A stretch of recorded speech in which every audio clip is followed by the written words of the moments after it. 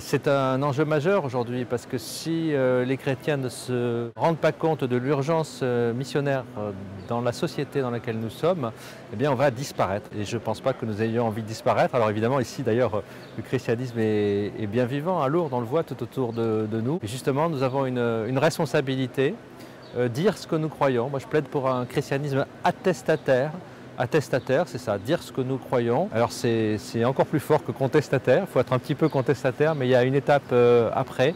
Euh, il y a beaucoup de chrétiens qui en restent euh, encore avant, détester, détester la société, détester le monde.